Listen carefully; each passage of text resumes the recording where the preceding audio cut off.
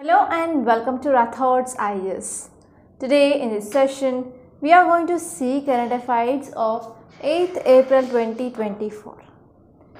So here we are going to take Delhi edition of Hindu and we are going to see like important topics which appear from our examination point of view and we are going to see in different dimensions how we can connect that topic. And one more thing is we are connecting a single topic with different subjects. So in this way you can write an answer which is multi-dimensional. So this multi-dimensional approach is very helpful to clear your UPSC examination because mains is a ball game. So in mains you have to write your answers in multi-dimensional manner and especially in your essay you have to include as many dimensions as possible. So that exercise we are going to see in this news analysis so that you will be getting habituated like improving of thinking process and even you will be thinking from different subjects and whenever you are reading one subject you can interconnect the same subject with other subjects as well. So in this way we will be having an integrated preparation of current affairs from both your prelims and mains point of view. And one more thing I can say is I have an experience of 5 years in this news analysis. And I personally have struggled like more than 2 years to understand current affairs when I was preparing for UPSC. And I'm not writing this UPSC and I'm completed with my attempts. And one more thing here is with my 5 years of experience, so I can say like which is the approach that is required for UPSC examination and how you have to read current affairs and even I can expect like important topics that you can get in your prelims and mains and soon I will be uh, providing you like 100 important topics from where you can get questions in your prelims for sure for 2024 so if you are preparing that topics at least 30 to 35 questions that you can get directly from that topics. Okay? And now let us see the front page and this is the first article which is relevant and one sincere request from my side here is please don't read each and every article in your newspaper. That is waste of your time. Only see the articles which are relevant from our UPSC point of view. But how can you know like which topic is important? Yes you have to see the syllabus. Syllabus will guide you in the way to reach your goal. And second source is PYQs. You have to see previous questions so that you can understand where UPSC is asking questions. And we started this previous questions analysis series from 2011 to 2023 and we upload around 5 to 6 videos from geography and polity point of view and today we are going to upload one video from history also. So try to watch all those series and complete that series so that you can understand important themes and how UPSC is trapping students and what are the important trends of UPSC and most favorite topics of UPSC and repeated themes all you will be knowing if you go through the PYQs. Okay, so don't miss that series. Try to watch each and every video. Okay, now let us see the front page and this is the first article. It is about traders rule traders rule underpriced onion exports to UAE. So this article is talking about exports of onion to other countries. So if you're talking about this article, so it is talking about some important dimensions. First one is it is talking about onion trade. It is talking about onion trade. So in this trade, we will be having two important concepts exports and imports. So I hope you know what is the meaning of export and import. Export means from one country we are moving to another country. We are sending to another country that is exports. And imports means from other country we are getting the products that is called as imports. So here this article is talking about onion exports. That means from India to UAE we are sending onion. So this is the title which said. But what is the issue here is from India to UAE we are sending onion at a very low price. For example, price here is rupees 12 or rupees 15 per kg. But after going into UAE, so in UAE they are selling this for 120 rupees per kg. So there is a huge price margin. Right, so they are uh, buying for 12 to 15 rupees per kg, but they are selling 120 per kg. That means who are in profits? So UAE people they are in profits and Indian farmers they are in loss. So if you see our government of India's target, it is to double farmers income. It is to double farmers income, correct? So how can we increase the income of farmers? So government said that we can increase the exports so that farmers will be getting good price.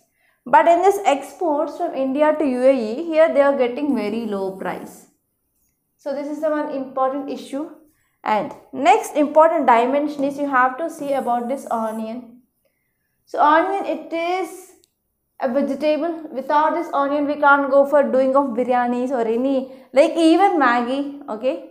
So I will be including onion, carrot, beans, okay, everything. Okay, like mixed vegetable in Maggi. So without onion I can't do Maggi. I don't know about you whether you will be adding just only masala that is given in that packet or not. But even in my home I will be doing Maggi that will be like including of multi vegetables. So here onion is very important in our food, right? So here the problem is whenever we are going for onion price, so it is highly volatile in market. That means now at present here in Hyderabad onion price is 20 rupees per kg. Like uh, for 100 rupees we are getting 5 kgs in some areas 4 kgs. If onion is like big big in size and if you are like fresh you will be getting like 4 kgs per 100 rupees and normally if it is not much clean and neat you will be getting like 5 kgs per 100 rupees. So if you see during Navratri period, especially during October, November, the, price of this onion will be increased to around 80 rupees per kg and even 150 rupees per kg in India. Okay, so here we are having very high volatile prices of this onion market. Not only onion, we can see pot potato, onion, tomato. So these are the three important vegetables. Their price is highly volatile in market. So here government always will plans to control this price of this POT. So whenever this POT prices are increasing, what happens? That will be increasing of price of thali. Okay, price of thali means for meals there is increasing of price. So it also leads to food inflation. And this food inflation we are seeing because of increasing of vegetable prices in market. Okay that is a one important thing. And you have to see from geography point of view in which areas we will go for growing of onion in india. Okay so all these are very important concepts and now the issue is so yes we can see like there is volatility in the market yes or no yes because of this volatility, Government of India need to take steps to stabilize the price. To stabilize the price, government said that we are going to ban exports. So whenever there is ban of exports, what happens? We can make this onion domestically available. That is required quantity we can make available in the domestical market so that we can control the price. But here now we are seeing export of onion to this UAE and even you can see map of UAE from geography point of view. Okay, and you have to see like why onion price in UAE had been increased because from India and from England, so some other countries, so there is a ban of exports are happening. So because of this, it is affecting the availability of onion domestically in this UAE markets. So because of this the price had been increased and especially UAE which is the country okay which is Arab country right. So because of this most of the economy of this country is depend upon oil, crude oil, gas reserves etc. So there is nothing much agriculture is seen here. So because of this, so these Arab countries that depends upon the imports for food items. Okay, clear? So these all are the some important things that you have to see. And here we discussed about government, government policies and we discussed about economy GS paper 3 and geography that is GS paper 1 and international relations GS paper 2. So in these subjects you can read this single article. So if you're understanding like how to read this current affairs and how to connect the things, so please do hit the like button. And one more request is I am giving like a Google review link of Rathod's IAS Academy in the description. So please click that link and give your review in that Google so that will be very helpful for me. If you want to do the favor for this analysis, please do that favor. Give your honest Google review. Okay. Yes, and now let us see this article in detail. Let us try to understand what this article wants to say. And there is also like a high chance of getting question in your prelims regarding UAE please because it is highly serious news. So please see this map of UAE for sure. Don't forget.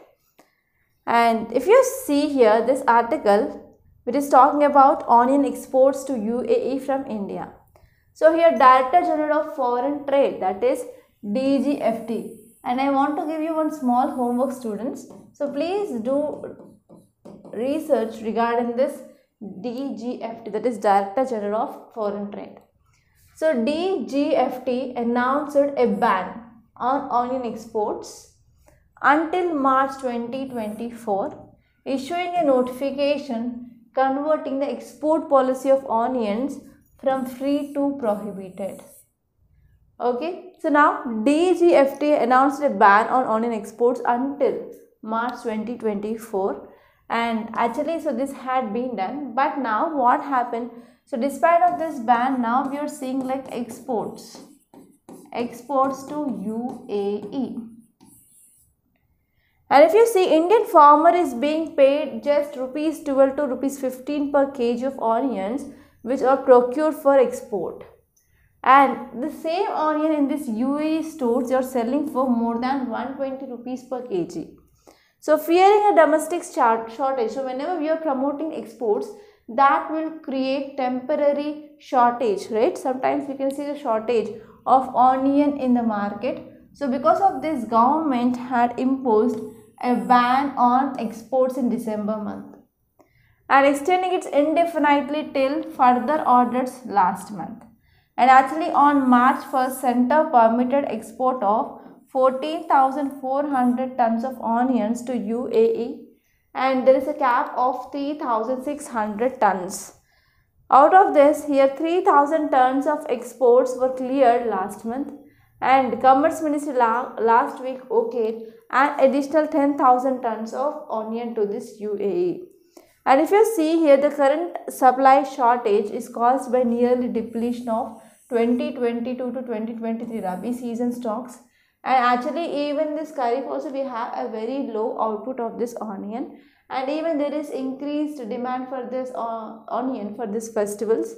And because of this, we can see the significant rise of onion prices. And if you see here, whenever we are going for this restriction of onion exports, government which is aimed to prevent price surges or fluctuations within the domestic market. And we can also see like how to combat the increasing of prices. So to combat this spiraling prices, here center had imposed minimum export price of US dollars 800 per ton on onions in 2023 and later on in earlier uh, August, a government imposed 40 percentage of export duty on onions as well. So that here government want to like discourage exports of onion to other countries. So this is about this topic and now let us move on to the next topic.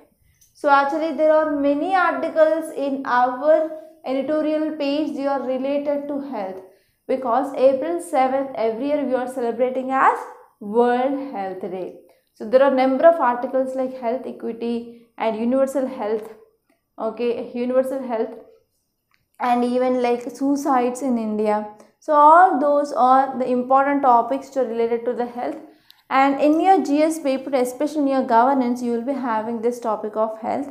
So you have to see these topics in a most important way and even from GS papers in the science and technology also we have health. Okay. So now let's get see those articles. And the city page there is nothing important and even the state page there is nothing important in today's paper. So you can directly move on to this editorial page. So here you can see one important article that is gone too soon. Gone too soon the subject of youth suicides in india. Okay so it is talking about suicides in india so especially there is increased rate of suicides in youth. Okay so we are going to see this article and it is very important. And now let us see the dimensions. So before seeing dimensions i want to announce about this offline and online courses that we're offering in Rathod's IAS. So Rathod's IAS Academy started offline and we have good experience in teaching and especially you can understand like how Rathod's IAS Academy's current affairs is different from any other current affairs which is posted in YouTube.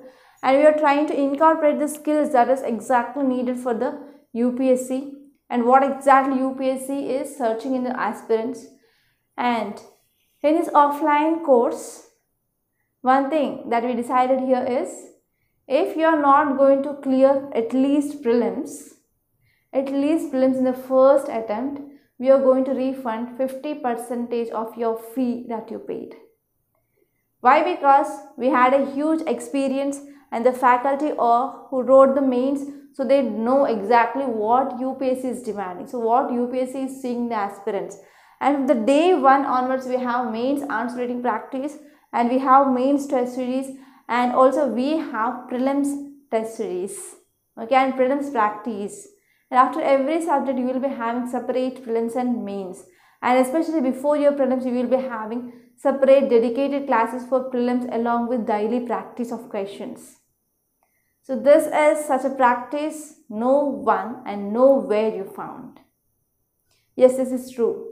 Because we started this offline from last two months and last two months onwards, I started mentoring the students and every day at least I will be talking to 5 to 10 students who come into this offline branch.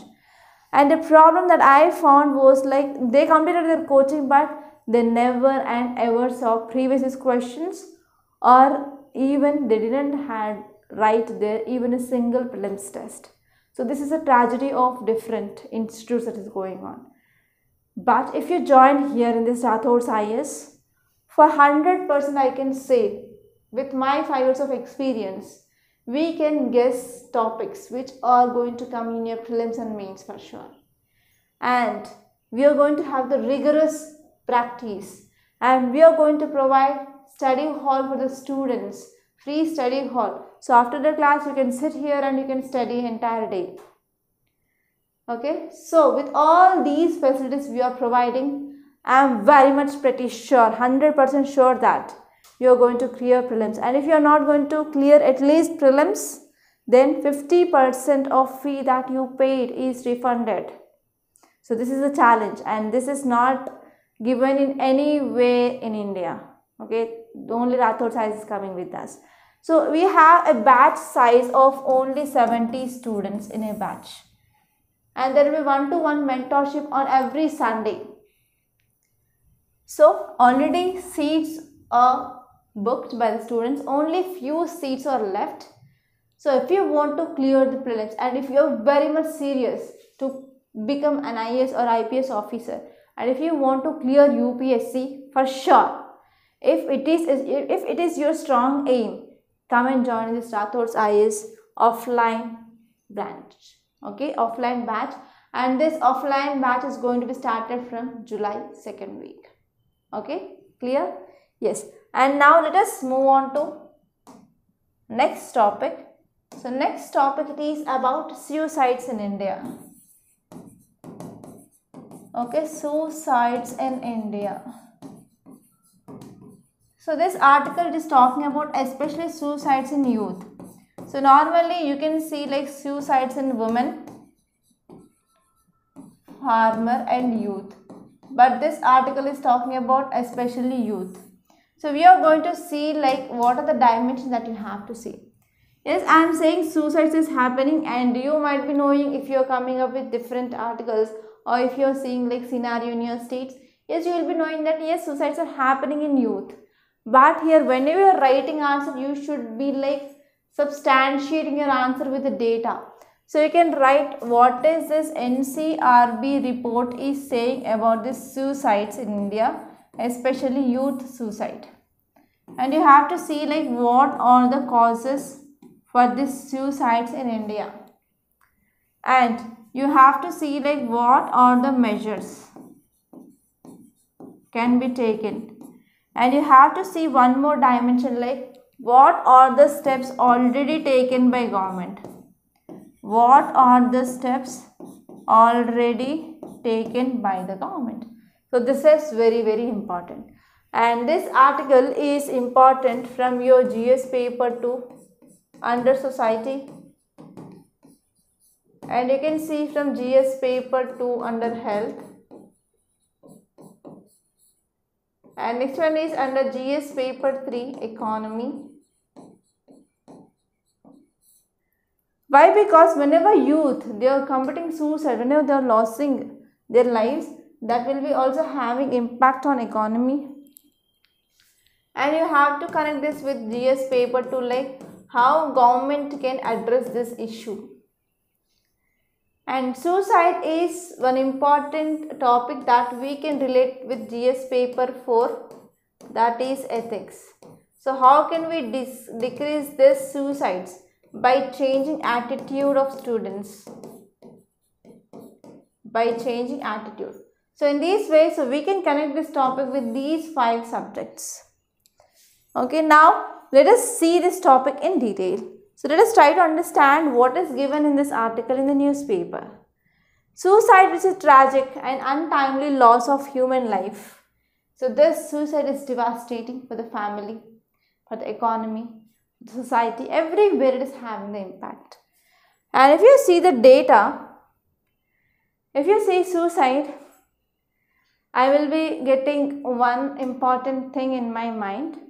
Always I will be feeling like negative because my father committed suicide. Yes. At that time I was just 6 years. Even I, I not I didn't turn like 6 years. So I was like 5 years old when I lost my father. So because of this Whenever I see this word anywhere, I will be feeling very, very bad. And I won't understand like whenever you're committing suicide, why can't you understand like what impact that is going to be in the future? Yes, if you want to commit suicide and if you want to end your life, you have to always think about what will be the impact on society, what will be the impact on the family who depend on that. So here because of this suicide, it is having more devastating and more perplexing events later on. So here NCRB data is saying that 1.71 lakh people they died by suicide in 2022. In 2022 here 1.71 lakh people they died by suicide in 2022 and the suicide rate has increased to 12.4 percent okay for every 1 lakh and we can see like there will be like a highest rate ever recorded in India. So in India there is high rate of suicides are going on and this is the report which said by NCR, the National Crimes Record Bureau. And unfortunately about 41 percentage of all suicides they are by young people who are below 30 years of age. That means these people they will come under demographic dividend. Okay. So here if they are not ending their life, they might contribute a lot to the economy. They might contribute to the growth and development of the country. Yes. And a young Indian dies by suicide every 8 minutes. For every 8 minutes there is one suicide which is going on. That too especially young Indian. So here which is a loss to family. So whenever any suicide is happening that is like incredible loss to the family and next one is society, economy and also the future of our country. Because today's children are tomorrow's citizens, right? So these people after entering into this adolescent age, so they have to contribute something to their family. something to their society, something to the country. So if they're ending life means everything will go into trash. And next one is what are the reasons for the suicides in India? Suicides in young people is best understood as multi-determined. So it may be because of different reasons, not only single reason. So it is like a multiple reason that is interaction between biological, psychological, familial and social cultural factors. Because of all these things, and if you see a current review of adolescent suicides in India, which shows that most commonly reported risk factors. So, what are the risk factors? They were like mental health issues. And next one is negative or traumatic family issues. And even because of academic stress like failing of examinations. And this one is social and lifestyle factors. And even because of violence, economic distress and relationship factors. My father, he committed suicide because of economic distress. And next one is there were like specific social cultural factors for suicides among young girls and women and arranged and early marriages especially in girls they are going for suicides because of domestic violence arranged marriage or early marriage young motherhood and some social status low social status domestic violence, economic dependence, so they are well documented. And even in youth now, they are going for consuming of alcohol, drugs, etc. So it is also one of the known risk factor for suicide in youth. And especially even because of improving of science and technology, so uh, youth they are using this technology and spending of lots and lots of amount of time in social media. Sometimes they also be attacked by this cyberbullying. So it is also one important reason, especially during this uh, COVID-19 times, the number of loan apps, uh, loan apps that led to the increasing of suicides in youth, especially in our state of Telangana. And this one is what are the solutions? So whenever any problem which is faced by these youth people, so one should be there to guide them, right? So youth people, they can be taught problem solving. How can we solve the problems? and this one is impulse control and this one is emotional regulation skills along with we can also focusing on help seeking behavior and apart from that early identification of mental distress it is one important thing that we have to focus. So here government or any family or society need to provide youth friendly environment.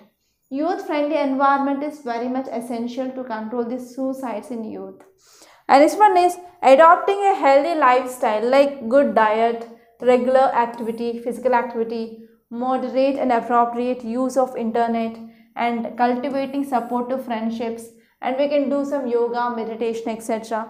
So that if you're doing these activities that will help your mental health and also reduce the suicides in young or youth. And even we can also improve family environments by reducing this domestic violence and alcohol consumption and even providing economic assistance to the needy people so that that will be reduces the societal behavior. And next one is educational reforms like for example alternative assessment methods and even provisions to explore the potential of young persons are very much needed.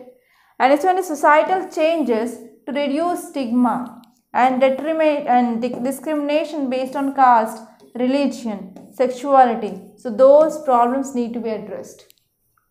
So if you are taking these steps, yes, we can decrease the rate of suicides in youth. And apart from that, India, government of India also took some steps to control this youth suicides. So first one is Ministry of Health came up with a task force in November 2019 and finally here government of India developed National Suicide Prevention Strategy for India. And the final strategy was launched on November 2022 and the important objective of this National Suicide Prevention Strategy is to reduce suicide by 10 percentage by 2030. To reduce suicide by 10 percentage by 2030, it is the target under this National Suicide Prevention Strategy. And this strategy which is focusing on the need to leverage education institutions and youth organizations. So and even is focusing to promote mental health and reduce substance and behavior addictions through school health ambassadors and youth clubs. So in this way here government is trying to reduce especially suicides in youth. And now let us see the next question. Sorry, next topic, not question. Yeah, so next topic is shaping India's path to inclusive healthcare. So we are focusing on inclusive healthcare especially because of World Health Day that we are celebrating on every April 7th. Okay, April 8th, okay, not April 7th. So here because of this, yes, we are having like issues of health that comes into picture and you have to see this year theme of World Health Organization's World Health Day and you have to see like what is this concept of health equity. So let me write the dimensions first. So this article is talking about universal healthcare.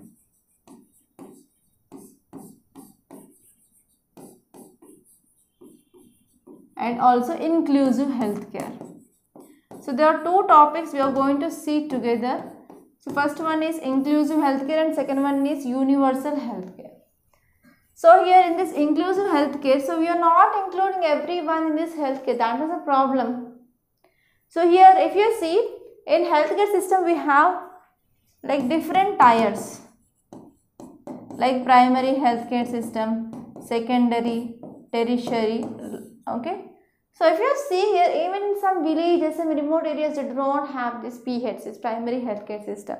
And especially in some women, there is high rates of anemia. In some uh, tribal groups like STs, so there is high rate of maternal mortality rate and infant mortality rate. And they do not have the proper access to the drinking water, sanitation, etc. So here, this inclusive healthcare is talking about health equity. So regarding this health equity, you have to know what is this health equity and what are the challenges in India, especially why we are not achieving this health equity. And you have to see what is the solution. And this may be your mains question, mains 2024, you will be getting question regarding health equity. And even universal healthcare is very important.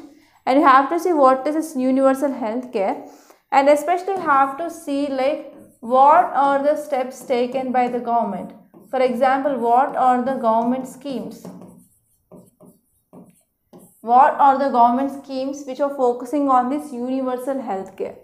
And you can write some mains questions and as well as prelims questions regarding this topic. And overall this topic is very important from your health and we are going to see these together, these two together, okay? First one is inclusive healthcare. So now what happened because of this COVID-19 pandemic? So we understood like what are the loopholes that we are having in our healthcare system, right? So there is an alarming gap in healthcare access. It has been highlighted by this COVID-19 pandemic. So if COVID-19 pandemic had not appeared means like we might not know about what are the loopholes to present in our healthcare system. It's true. Okay. So here COVID-19 epidemic, environmental crisis and growing socio-economic gaps. So they mainly said that yes, there are some healthcare gaps here present. And even though over 140 nations, they recognized health as a constitutional right. So WHO Council on the Economics of Health for uh, all reports which said that half of the world's population, half of the world's population needs complete access to essential health services. And with the passage of World Health Day 2024, so we are focusing especially on this health equity. Okay, we are focusing on this health equity. So what exactly health equity means?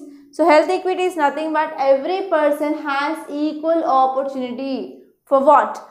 To achieve their health, highest health potential no matter what their circumstances. For example, like which caste you are belonging to, which region are belonging to, which language you are speaking. Okay, so what are the environmental factors, economic factors. So, despite of all these things, they need to have the proper access or equal opportunity to achieve this health potential. So, that is the meaning of this health equity. And if you are talking about true health equity, it need to address the root cause of health inequities. For example, because of poverty, so people they can't afford much. And this one is because of discrimination. And even in some hospitals, some category or some caste people, are not allowed in especially rural areas. And this one is there is very limited access to high quality education and they do not have proper healthier diet and clean water, fresh air, housing and merely they are granting equal access to the healthcare. So despite of all these things, yes, we have to provide equal access to the healthcare. That is called as health equity. For example, if a child born into a poverty in a rural area who have no access to a clean water, wholesome food, immunization, which lays the foundation for chronic health problems. Okay, so we should not consider all those things. We have to provide opportunity for each and everyone to access to the healthcare. That is the concept of health equity. And if you're talking about what are the challenges of India's health equity. So according to 2011 census, urban slums they make up over 17 percentage of India's metropolitan areas and they exhibit serious health disparities and even health risk they are increased by overcrowding, poor sanitation and even there is restricted access to the clean water in many areas in India. And because of this infectious diseases like tuberculosis, they are 1.5 times very high in slum areas compared to non-slum areas. And even National Family Health Survey is saying that scheduled caste and scheduled tribes, they experience high child mortality because of lower immunization rates. And additionally, 59% of women in the lowest wealth, they have anemia compared to that of this high wealth people. Okay, so here we can see like how, how this health equity is seen like. So it is like the intersection of caste, gender, economic status and health outcomes.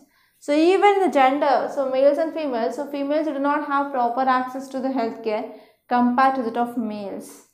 And next one is a critical shortage of doctors exacerbates these issues. So here WHO data which is indicating like only 0.8 doctors per thousand people which is very below okay very low level so even though over 75 percentage of healthcare professionals they are working in metropolitan regions, the cities. Only 27 percentage of population they are working in the rural areas. This is also an important issue. And apart from this, to move India towards universal health coverage and more equitable future, so here government, civil society, healthcare providers and communities, they need to work together. So these are the solutions like how can we achieve this health equity.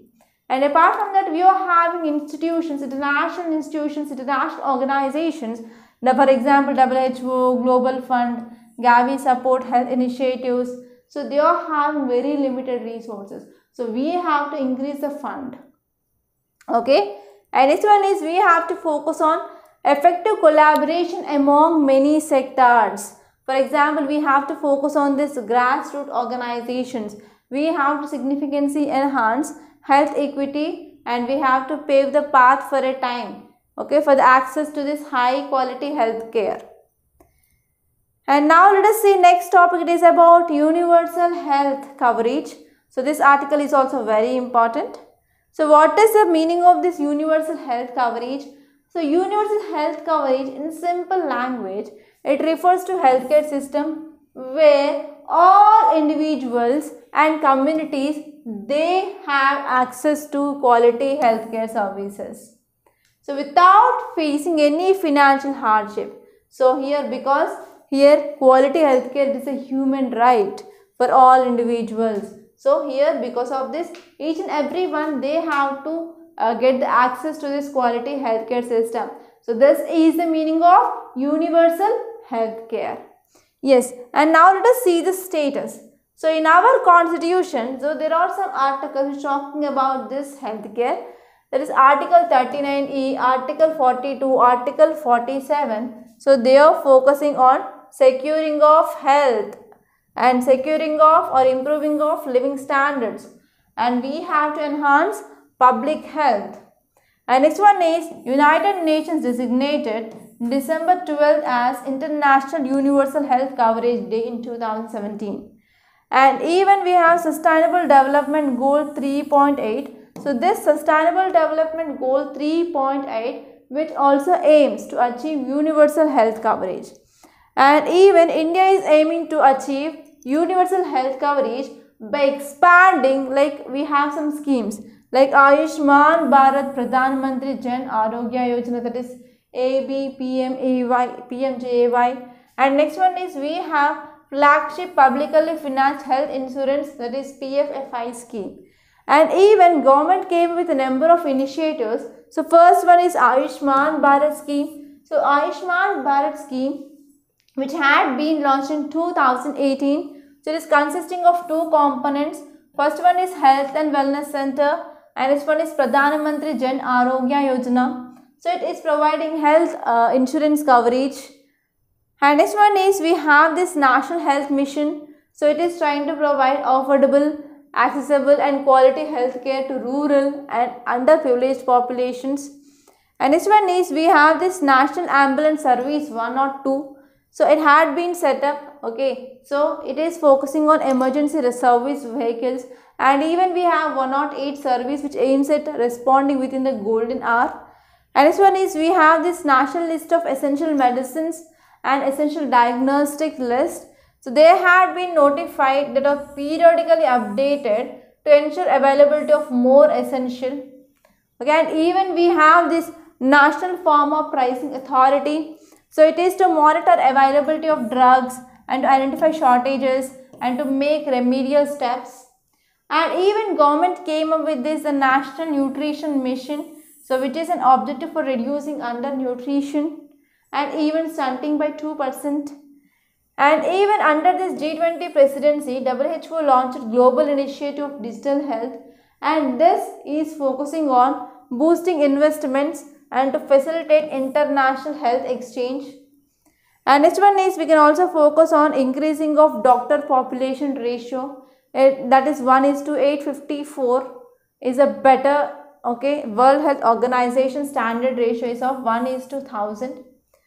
And is government also came up with this uh, central sector scheme. So it is focusing on coming up of new AIIMS. Okay, so these are the some important things that government is focusing to improve universal health coverage. And now I want to give you one prelims based question. So with reference to National Rural Health Mission, which of the following are the jobs of ASHA trained community health worker? First one is accompanying women to health facility for antenatal care checkup. And next one is using pregnancy test kits for early uh, detection of pregnancy. Next one is providing information on nutrition and immunization, conducting of delivery of the baby. So which of the following codes are correct? So please let me know the answer for this question. It is very simple. Now let us move on to our Hindu page. So I covered this editorial and as well as opinion page. So now let us move on to this text and context page. So here there is one important article that is about what would be impact of the Baltimore bridge collapse. So you can get a question like recently Baltimore Bridge is in news where it is located. So here the port of Baltimore it is the ninth largest US port by overall trade volume. And in 2023 around 50 million tons of goods between US and other countries happened through this Baltimore port. So the immediate Im impact of this collapse was felt by 15,000 and so workers in the port and about 1,40,000 people who depend on that port. And actually Houthi attacks on ships in Red Sea and Panama Canal, they have lengthened the delivery times and increased the cost of companies that rely on East Coast port. So because of this further collapse of this Baltimore port that is leading to the increasing of time of delivery and even that will be increasing of price and even that will be disrupting of supply chains. So this is the thing that is given in this article. And let us move on to next page. So in this news page I didn't found anything and leave this election page.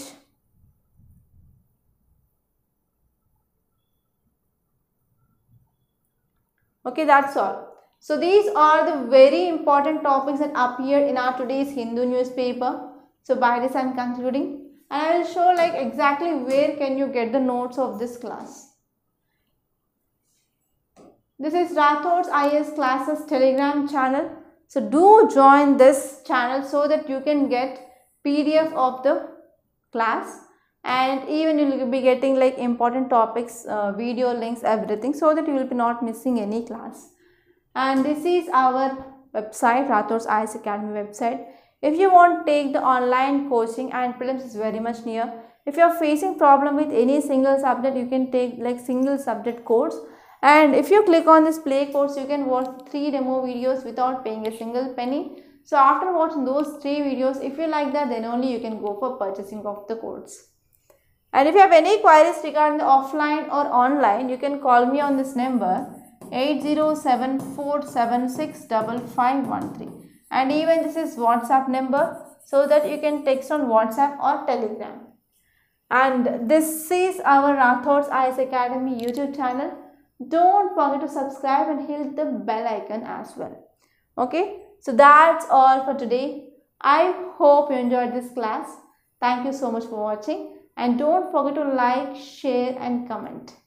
And do subscribe to Rathod's IAS Academy.